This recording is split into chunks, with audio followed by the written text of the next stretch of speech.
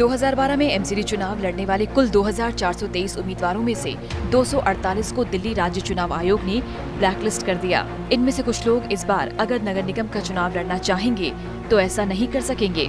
क्योंकि इन लोगों ने 2012 में हुए एमसीडी इलेक्शंस के बाद अपने अपने खर्चों का ब्यौरा आयोग में जमा नहीं कराया था। एमसीडी चुनाव लड़ने वाले प्रत्येक उम्मीदवार को चुनाव खत्म होने के बाद अपने खर्चों का ब्यौरा आयोग में जमा करना होता है। ये ब्यौरा रिज़ल्ट घोषित होने के दस दिन के अंदर आयोग में जमा होना चाहिए। चाहे कोई उम्मीदवार जीता हो या हारा हो। चुनाव लड़ने पर इन कैंडिडेट्स पर रोक केवल दिल्ली में है और वो भी एमसीडी इलेक्शंस लड़ने के लिए। ये रोक दिल्ली राज्य चुनाव आयोग ने लगाई थी। इसलिए डीएमसी एक्ट के तहत केवल दिल्ली के नगर निगम चुनावों पर प्रभावी होंगे। दिल्ली चुनाव आयोग के नियम के तहत अगर कोई इनमें कोताही करता है तो उस पर आयोग अगले छह साल तक चुनाव लड़ने पर बैन लगा सकता है। टोटल न्यूज़ के लिए बैदनाथ झा की रिपोर्ट।